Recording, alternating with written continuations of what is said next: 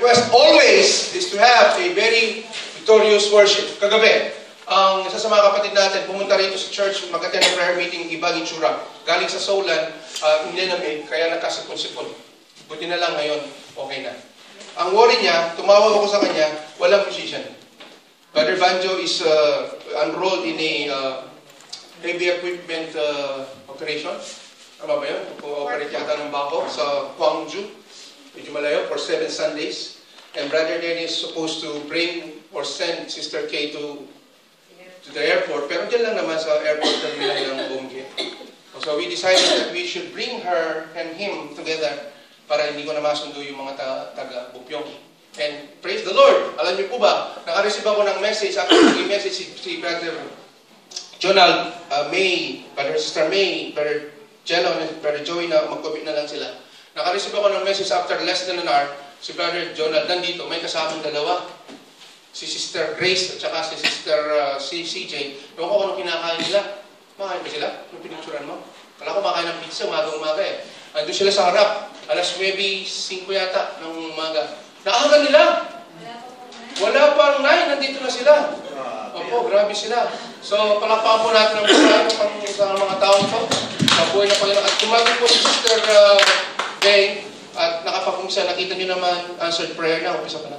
Palakpakan po natin ang Diyos. Ang ni Sister Bay, ano ba? Maminus one na naman tayo ba? Hindi nangyari dahil nandiyon po yung provision ng Panginoon. For to God be the glory. Nothing but the blood of Jesus Christ. Okay, tanong ko. Sinong nabubuhay ng organism na alam nyo, nakikita ninyo, na with your very own eyes, na na, na kingdom animalia, na kingdom animalia, ibig sabihin mga animals, na nakikita nyo with your very eyes, na walang dugo. Pero ba?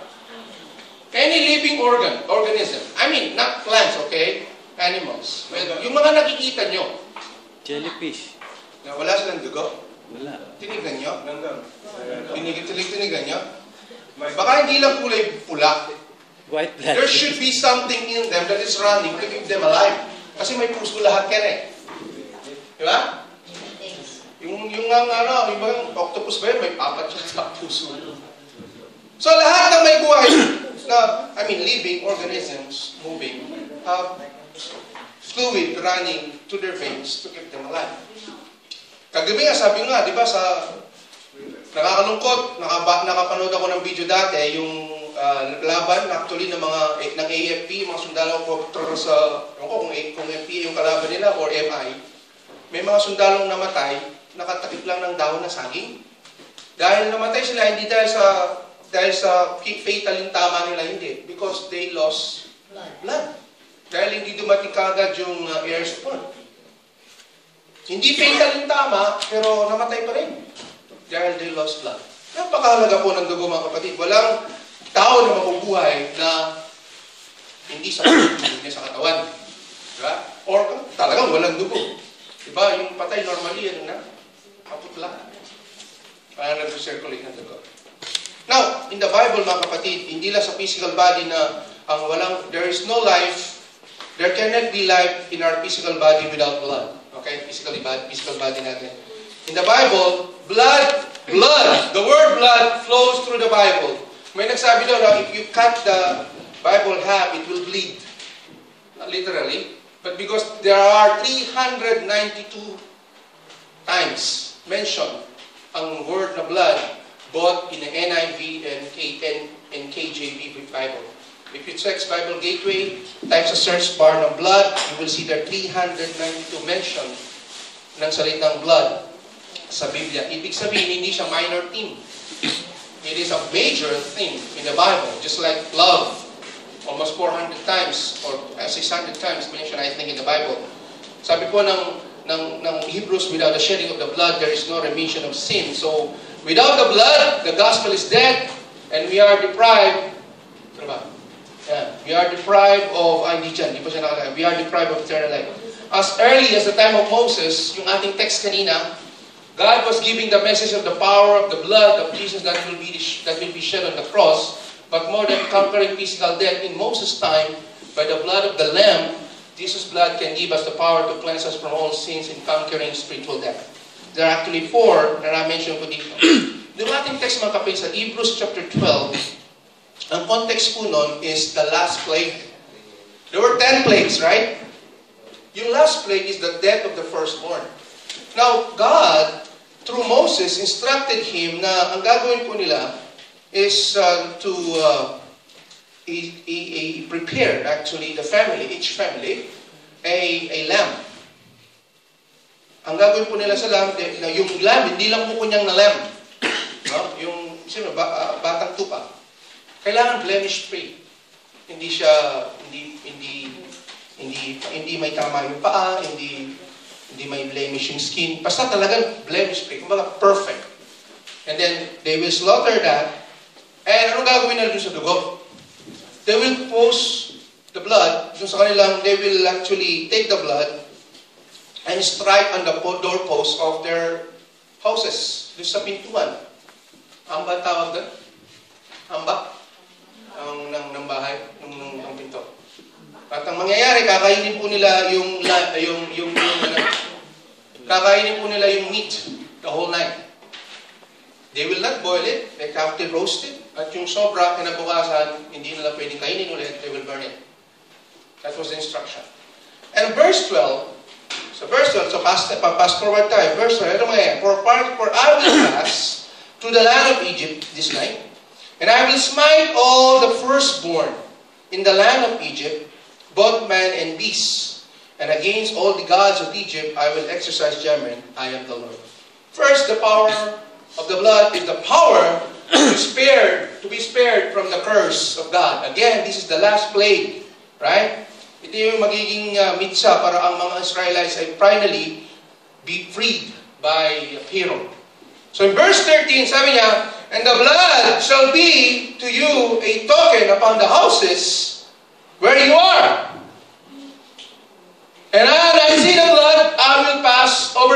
Narinig niyo po yung kanta? When I see the blood, I will pass, I will pass over you. Ba narinig niyo? Kasi Sir Beck, hindi pa nila narinig. Tawag po riyan, uh, When I see the blood. It's a hymn. Diyan po na kuya. When I see the blood, I will pass over you. The plague shall not be unto you to destroy you when I strike the land of Egypt. Instead, ang nangyari, dahil in Egypt, hindi na binigyan ng ganitong utos, lahat ng kanilang mga panganay na anak, including, not only mga panganay nilang anak, including the firstborn of their animals, the next day, puno ng iyak ang Egypt. All families na may firstborn will die. But those houses with blood on their doorposts, walang nangyari sa kanila.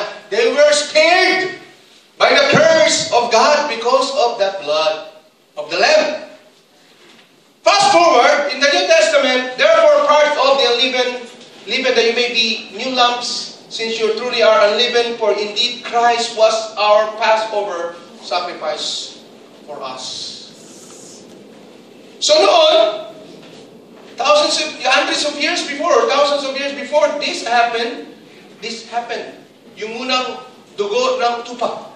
And then, in the New Testament, ang dugo ng Panginoong Yesus. The power to be spared from the curse of God, we are all under curse uh, spiritually. Sabi ng Biblia, all have sinned and fall short of the glory of God. Romans 3.23. And then Romans 6.23, for all the wages of, for the wages of sin is death. So tayo lahat, mga kapatid, are destined to die. At ang masama, kapag wala ka sa Panginoon, you are destined to die and be separated from God eternally. Kapag hindi ka nahugasan ng dugo. Now, in Exodus 12, mga kapatid, the blood that was sprinkled on the doorposts of the Jewish homes, just as the Lord instructed to them through Moses, kaya dumanap ito tinatawag nilang angel of death on that night, nagkaroon ng awful judgment and death of the firstborn of the Jewish people, uh, the, the Egyptian people. The Jewish people were protected by the blood. it was actually, ano nagligtas sa kanila? What saved them from the angel of death? Yung blood? Their faith. Paano naging faith yun, Pastor? Their faith because pinaniniwalaan nila o pinaniwalaan nila yung instruction ng Diyos kay Moses. They act on it. Tama ba? They act on on the they believe on the word of the Lord to Moses. So lahat mga kapatid, wala tayong mababasa sa Exodus na uh, may isa o dalawang pamilya na hindi gumawa nun. Lahat na instruction so lahat ginawa. So by faith, they, that, that faith brought them protection and they believe in the word of the Lord given to Moses. Sabi nga po, Now the blood shall be a sign for you on the houses where you are, and when I see the blood, I will pass They believe it enough and act on it. And by following the directions by the Lord through his servant Moses, they reap a great benefit. Not only, not only they were spared from the death of their firstborn, both animals and their families, but also they were literally freed from bondage. Amen? Now, na, after na po pinaya, pina, pinaalis na sila ni, ni. At sila'y nakalaya from the bandage of Egypt. In 1 Corinthians chapter 5 verse 7, yun ang po sinasabi ngayong Passover. Sino Passover? Hindi na po, hindi na po, hindi na po lamb, kundi ang Panginoon Jesus niya. Sabi sa Romans 5.8, ito yung maganda, But God demonstrated His love toward us while we were still sinners. Christ died for us. Much more than then, having now been justified by His blood, we shall be saved from the wrath through Him. If the Egyptian or the Jewish were saved from the curse of God, I mean the Jews were saved from the curse of God because they act on the on the uh, on the word of God through Moses. Tayo po, by the word of God, nung tayo maninimpalataya sa Panginoong Jesus, tayo dyan, no? We were, uh, God demonstrated His love toward us nang tayo makasalanan pa, namatay ang Panginoon dahil para sa atin. At nang namatay ang Panginoon sa atin, tinampalatayanan natin yun. Ano nangyayari sa atin? Justified by His blood, we shall saved from the wrath. Kailan yun? Kasi future tense yun eh, di ba? Tama ba? Sa mga English teacher, we shall be saved. Tama ba? Future. Kailan yung wrath of God? With the second coming of Christ. We will not be, we will not be part of that. Hindi na tayo mararamdaman yung galit ng Diyos because we have been shed, we've been covered by the blood of Jesus Christ. So we are also spared from the curse that is coming because of our faith in the Lord.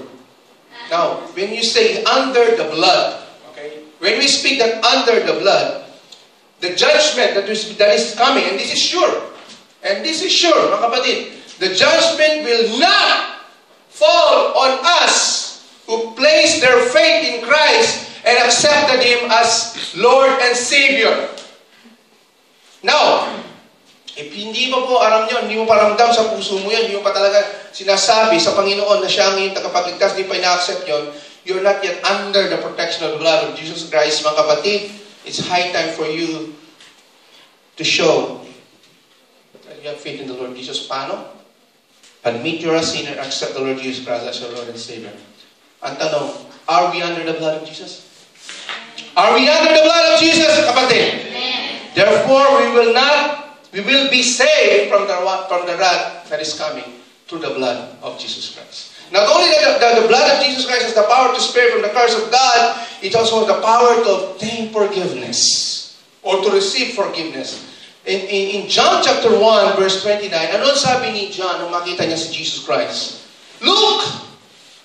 The Lamb of God that takes away the sin of the world. Tama ba? Behold, the Lamb of God who takes away the sin of the. Ang makita na ni John, si Jesus Christ.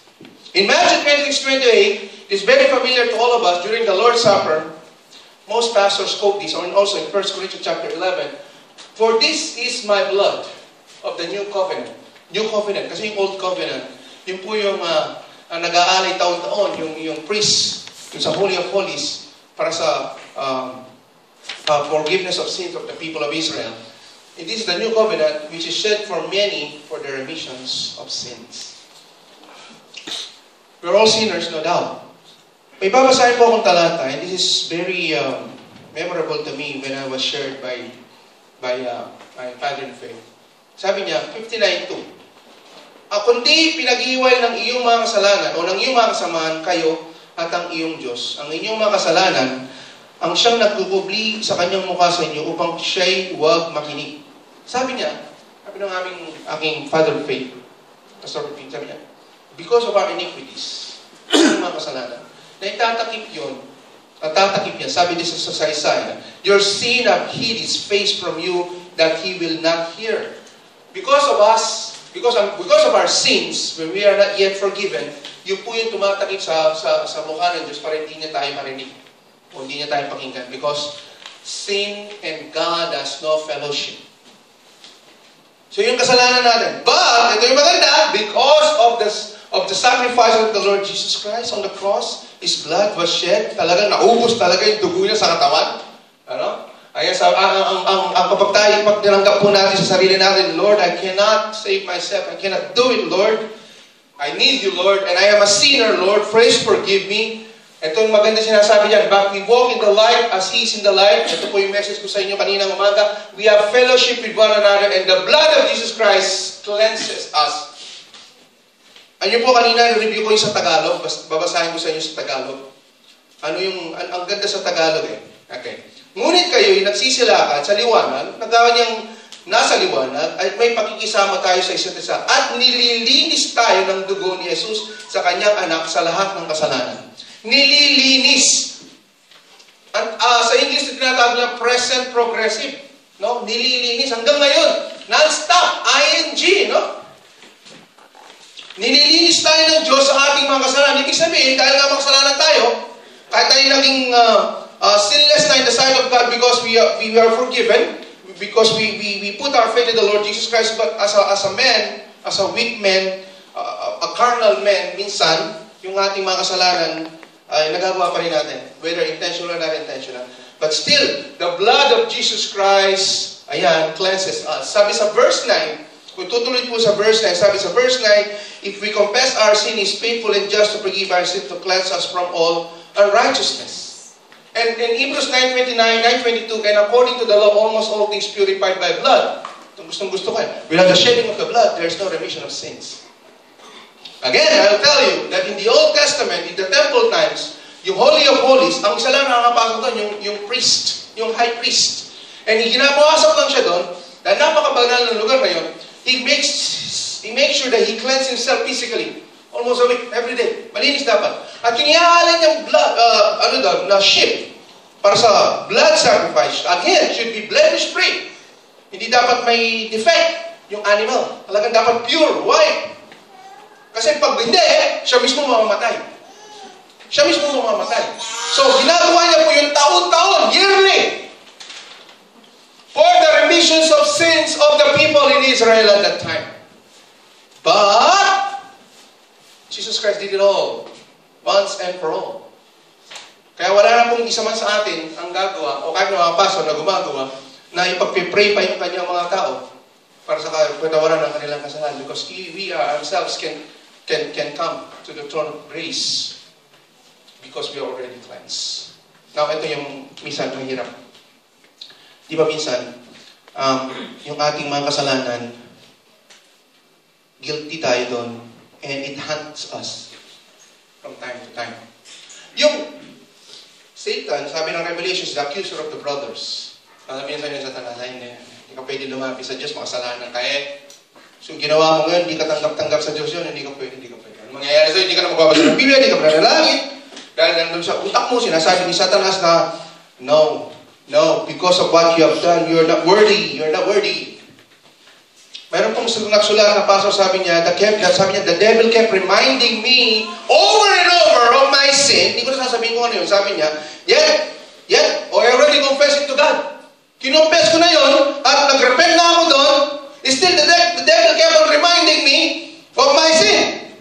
But when I read this verse, sabi niya, 1 John chapter 1, verse 7 and verse 9, walk, walk in the Lord, or walk, if we walk in the light, I see that we have fellowship with and the blood of Jesus has cleansed us from, from all sin. And verse 9 said, if we confess our sin, He is faithful and just to forgive us and to cleanse us from all unrighteousness. Mga kapag sincerely, it's the word, ask God for that we have committed in word, in deed, or in thought, and or to things na dinuwa, diwa natin pero hindi natin ginawa, sincerely, repented, confessed to the Lord, and we ask forgiveness, ang sabi ng Bible, if we confess our, He is faithful and just to forgive our sins, to cleanse us from all righteousness. Are we forgiven? We are forgiven. So kung ano man pumapasok sa utak mo minsan, na guilt, ay, hindi ka pwede eh. So hindi ka na magbabasa ng Biblia, ay, hindi ka, hindi mo sa anak ka, hindi ka magpanalangin. Hindi mo nagagawin yung spiritual discipline na ginagawa mo dati. You're being tricked. Tandaan natin mga kapatid, the blood of Jesus Christ is enough. And when we, when we, when we, when we claim that the cleansing of the blood of Jesus Christ in our lives, it's gone. That sin is gone. It has been placed under the cleansing blood of Jesus of Jesus Christ. The, the, the, did God forget it? Siyempre, sabi ng, sabi ng iba, kapag daw nakakalimutan ng Diyos ang kasalanan hindi siya omniscient or omnipotent kasi nakakalimut siya. No! Hindi niya nakakalimutan, pero hindi na niya binabalik. Sa inyo, marami kayo dito. Marami nang nagawa sa inyo ng, ng hindi maganda. Na hanggang ngayon, pero pinatawad niyo na, pero hindi niyo pa nakakalimutan. Pero pag nakikita niyo yung tao yun, hindi niyo na binabalik. Hindi na kayo galit sa kanya. Di ba? Eh, ito talaga pinatawag yung tao. Okay, nag-sorry siya. Oh, Pasensya ka na kapatid ha. Hindi ko talaga dapat sinabi yun eh. O di, oh, okay lang yun. So, pag natawag na kita. O di, one week later, nakita mo, ito talaga ito. Hindi na makalimutan ang ginawa. Ay, hindi ginagawa sa akin ng Diyos yun. Once we are asked for forgiveness, yes, nandun yung kasalanan natin, is in the mind of God. Siyempre, hindi naman siya nakakalimot. He is omnipotent, omniscient. Pero hindi na niya binabalik, hindi ka na niya uh, sinusumbatan. That's the word. Because we're already cleansed by the blood of Jesus Christ. So, huwag po tayo padaya. Because by the blood of Jesus Christ, by being sure our faith in the Lord Jesus Christ, our sins are forgiven. we have received forgiveness. Related to this, The power to, to obtain forgiveness is the power to cleanse our conscience, number three. O yung magkakaroon tayo ng malinis na Tagalog ay budhi. Sa Pampangan, budhi lang yan. Budhi. The power to cleanse our conscience. Lahat ng tao may konsensya. Tama ba? Pero hindi gumagamit ng safeguard, wala. safeguard, yung Pilipino yun eh. Uh, this is the moral attribute na meron tayo lahat. Lahat ng tao may konsensya. Pero hindi lahat ng tao may banal na spirito sa puso. Amen? We all have conscience, conscience but not all have the Spirit of God residing in them. But ito nangyayari. Hebrews 9.13 to 14. And this is very good. The power of the, the, the, the blood of Jesus Christ, it has the power to spare from the curse of God. It also the power to obtain forgiveness. Not only that, thirdly, it has the power to cleanse our conscience. For if the blood of the bulls or goats and the ash of the heifer, sprinkling the unclean, sacrifices and purifying of flesh, how much more shall the blood of Christ, who through eternal Spirit offered himself without spot to God, cleanse your conscience, right, from dead works to serve the living God. 1021, same author, same book, having high priest over the house of God, let us draw near with a true heart in full assurance of faith, Ayan. Having our hearts sprinkled from evil conscience and our bodies washed with pure water. Mga, mga kapatid, the, the blood of the old covenant, yung sinabi ko sa inyo kanina, yung offerings ng mga priests sa Holy of Holies, purify the flesh physically. Now, external po yung cleansing kasi ginagawa po yung yearly. No? Now, those sacrifices, parang hindi mag-cleanse yung conscience natin kasi in behalf eh, no? The blood of Jesus Christ cleans and purifies a guilty conscience. Now, minsan, sabi ng nagsulat, may blessing and curse ang guilty conscience. Okay. Ang blessing ng guilty conscience is ganito. When it drives you to the cross, you, you commit a mistake, you commit sin, blunder, and you're guilty. Anong gagawin mo? Ito yung blessing nga ng guilt, is to come to the cross of Christ. Come under, the, come under Jesus' feet and ask for forgiveness. Repent from your sin and ask the Savior who died on the cross to cleanse your conscience by His own blood. That's the curse. That's the, that's the blessing. Ito yung curse naman. Yung guilt daw ng cursed conscience is when you refuse. Ito, balik tayo dito sa verse 14. When you refuse to admit your sin at ang ginagawa mo to have a clear conscience, you're doing some good works to counter the sin. Maraming, maraming nangyari. Personally, maraming beses nangyari sa akin ito before. Na nagawa ko ng isang mali, ba, ito ang galing ko nung bata ako. Sabi ng nanay, huwag kang sasama doon. Ha? Huwag kang maliligo doon sa ilog doon. Kaya pag walang nagsumbong sa nanay ko, somebody, so, nobody found out na, bin, na nilabag ko ang nanay at tatay sa ulo niya. Pagbalik ko, sipag-sipag ko. Ang sipag-sipag ko. Mag-aayos, maglilinis, maglilinis. Lahat ng pwedeng gawin ng na dapat pinapagawa, ginagawa ko ng maayos. Para, para hindi ako hindi, para hindi ako mahalata. May ginawa akong kalokohan. Level it up. Nung nakagawa tayo ng kasalanan, hindi natin maamin-amin, ginagawa natin. Maraming gumagawa nito. Nagtsatsarit sila. Magawa sila ng mga mabuting bagay. Ano yung bata ko, nagiging basaya ko sa kaligtasan, mabuting gawa, may ma, ma, ma, ma, masamang gawa. Pag masamang gawa marami, ino-enumerate mo, impyerno ka pupunta. Pag mas marami yung mabuti mong gawa, kaysa sa, ma, ma, kasi sa masama mong ginawa, maaari sa lahat na pumunta. Pero hindi naman ganun ang basihan, di ba? Maraming tao ganito ang kanilang basihan sa kanilang patawa sa kanilang kasalanan. They do some good works. Ito sabi ng verse 14 ha, How much more shall the blood of Christ, who through the eternal Spirit offered Himself without spot to God, cleanse your conscience from dead works. Ano yung dead works? Ito yung mga ginagawa ng mga tao na siniisip nila by doing good things. Ha? By doing good things, their sins will be forgiven, they will be free from the guilt they have. But tandaan natin, I mean, they mean that if, if they hope to have a clean conscience, they must do good works. Self-effort. Um, self-effort is futile in attempts to in attempt to earn forgiveness. It doesn't work. It doesn't work that way. Tandaan po natin yung ating magabubuting gawa, tinatawag dito, good works never produces salvation. Amen? Good works never produces salvation. Good works proceeds from salvation. Ibig sabihin, after you've been cleansed by the blood of Jesus Christ, through, through your faith in Jesus Christ, by grace have you been saved through faith, that is that is the time na ang magpipresid sa iyo ay mabubuting gawa. Gagawa ka kasi, ligtas ka na.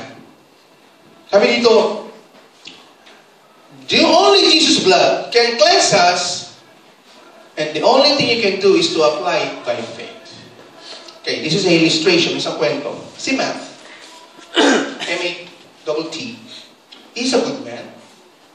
He's from the United States. I read this story and I want to share this story. He was a, he was a barber. Ano trabaho niya kapatid? Barber. Yung binubuhat, di ba? Barber. Barber. Barber. At least nakikinig kayo. He was a barber.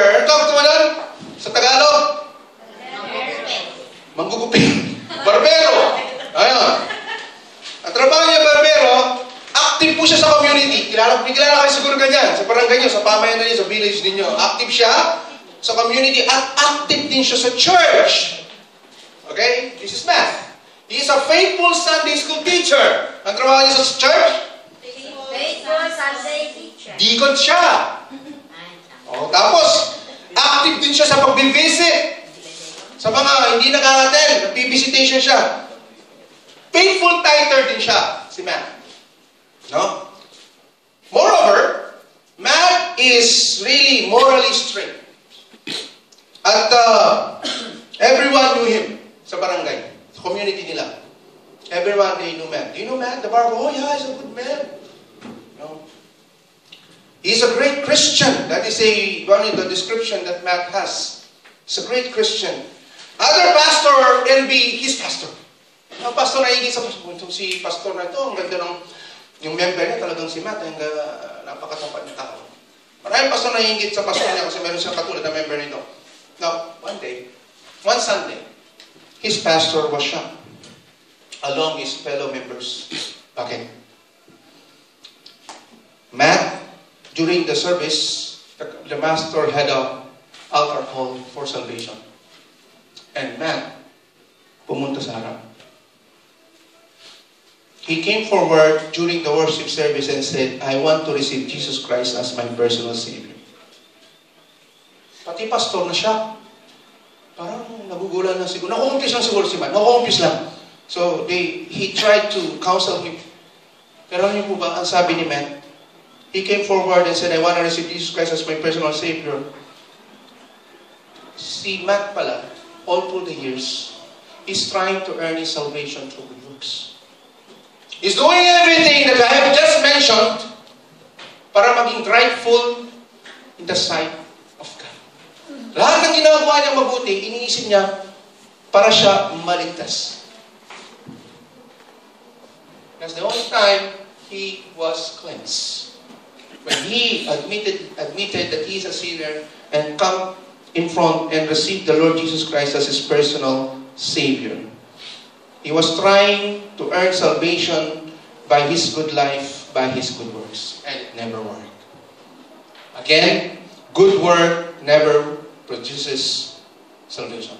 Good work always proceed from salvation. And only the blood of Jesus Christ can purchase our eternal redemption and purify our conscience. That's the only time that figured out that his conscience is finally clear. Only the blood of Jesus Christ. finally, not only the power of the blood to cleanse, to spare from the curse of God, to, to take forgiveness and to cleanse our conscience. After all of these things, we can now come to God who is actually holy. We can come to His presence boldly. Hindi na tayo mahihiya, hindi na tayo mapapahiya. May babasahin po akong text bago natin buksan yung uh, uh, Hebrews chapter 4, verse 16. This is in Isaiah 64. Hindi ko po nilagay dyan. If you have your Bible with you, open up with me. Isaiah 64. Saan po? Isaiah chapter 64 verses 6 and 7. Sabi nito, sabi nito Isaiah 64 verse 6 and 7. But we are all as unclean thing And all our righteousness, all our righteousness are as filthy rags.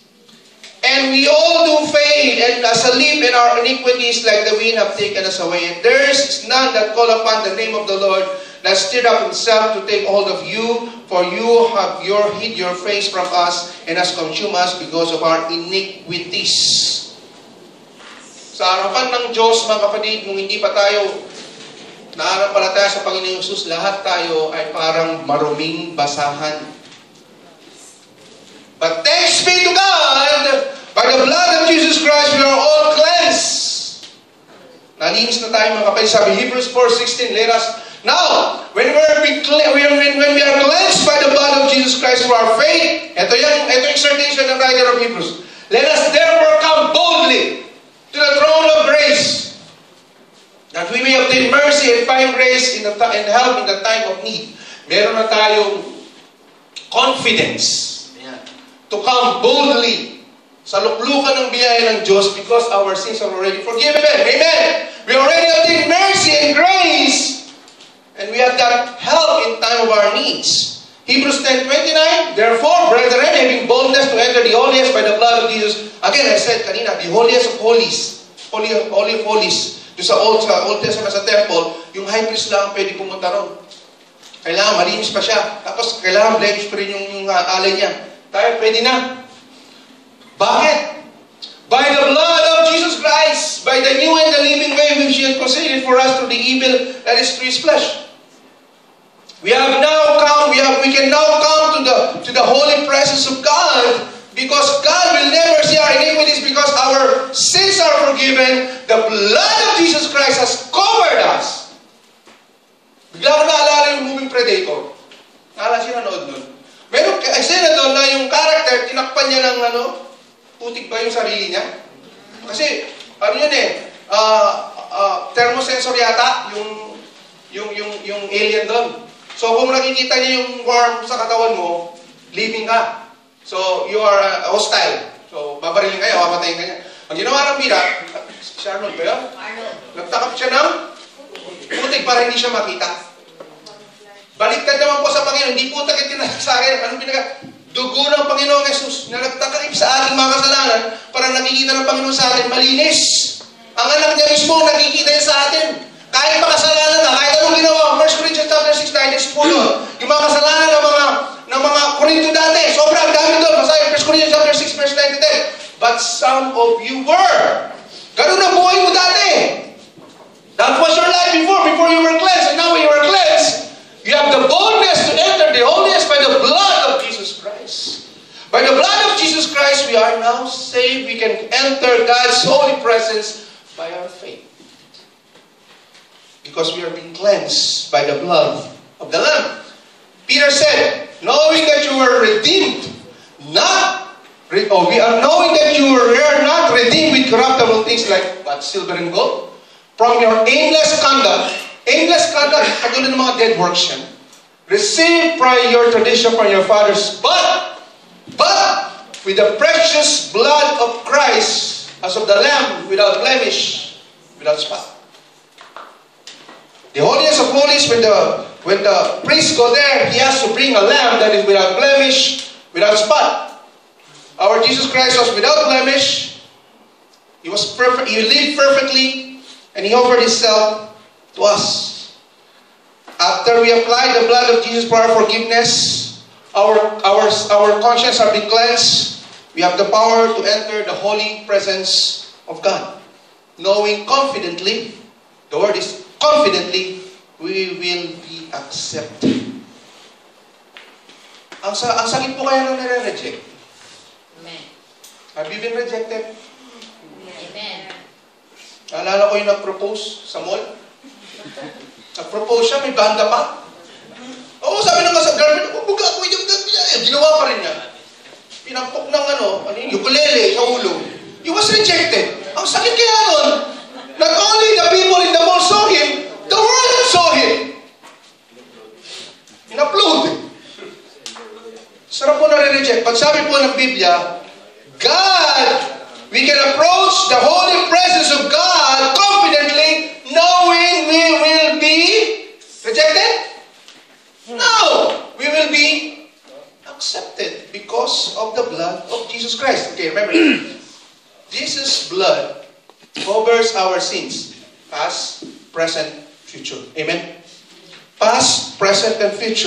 tanong, oh, I'm already cleansed by the blood of Jesus Christ.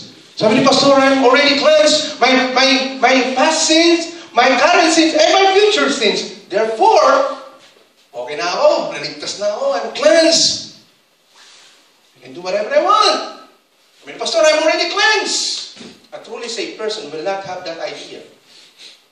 A truly saved person will not have that mentality. Walang ganun. Okay. What do you mean by redeem? Atonement. Sabi po ng Webster, atonement daw is the reconciliation of God and man through the sacrificial death of Jesus Christ. Reconciliation of God and man through the sacrificial death of Jesus Christ. For our sins separated us from God. And only by the sacrificial death of Jesus Christ can man and God finally be reconciled by virtue of our faith. Despite of our sins, ito ah, despite of our sins, we have the privileges to enter the holy presence of God because we are covered by the blood of Jesus Christ through our faith. We are redeemed. Past tense. We have been reconciled. Past tense. What is salvation? We have a forgiven past. We have a well-meaning present and secured future. That's what the blood of Jesus Christ can do for us by virtue of our faith. Jesus' blood continues to atone for present and future sin. This is not to say we can just go in and sin. Like I said, a truly saved person won't do that, won't have that attitude. But despite of our best efforts, di ba? Kahit anong gawin natin sa ating sarili, we try to make the best what we have in our lives. Nakakagawa tayo ng kasalanan. Minsan, yung ating bibig, di natin mapigil. Yung ating isip, di natin mapigil. Yung mata natin kung saan saan magpunta. Yung mga dali natin kung saan saan kiniklik. Yet we sin, so we have to confess our sins to God Daily. Kailan? Daily. Araw-araw. To make it right. But praise God, for the blood of Jesus Christ, our sins are forgiven, past, present, and future. We have to, oh, 1 John 5 9, right? 5 9, 1 John 1 9. If we confess our sin, He's faithful and just to forgive our sins. Now, only the blood of Jesus Christ can spare us from the curse of God. And after we apply the blood of Jesus Christ by our faith, we are forgiven. Our sins are forgiven. It cleanses our conscience.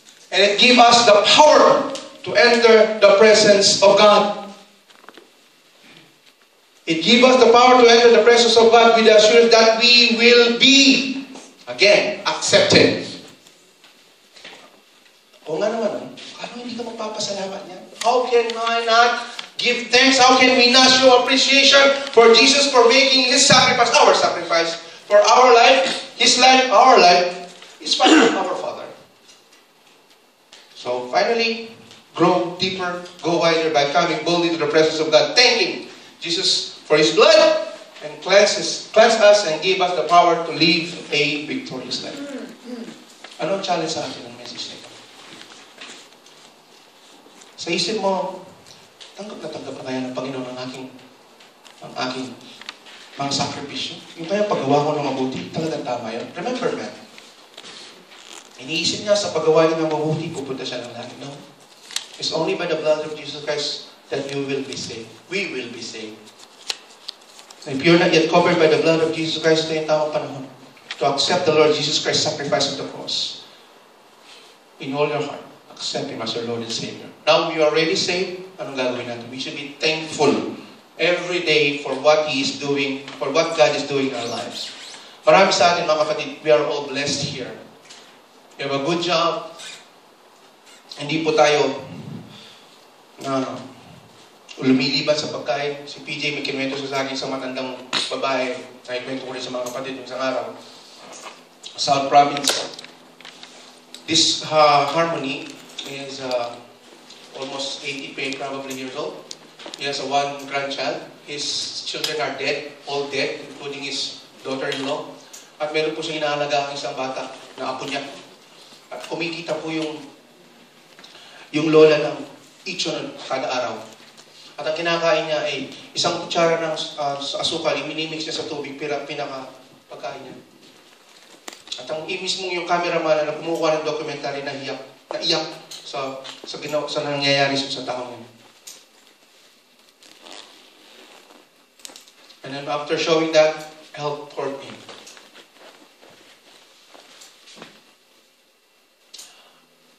I don't know about you, but all of our sacrifice are futile to the Lord.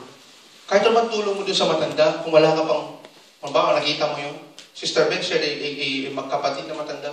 Kahit anong tulong mo pa, kahit lagay mo pa yung sweldo mo, wala, futile lahat. Kung wala pa ang Panginoon sa buhay mo. Oh, good, we will be touched by those stories, but let the Word of God touch us and mend our ways and continue live according to His will. Thanking God for His provisions. Masaya tayo, maaaring wala isa man sa atin ang may ganung klaseng lola sa Pilipinas. Maaaring wala.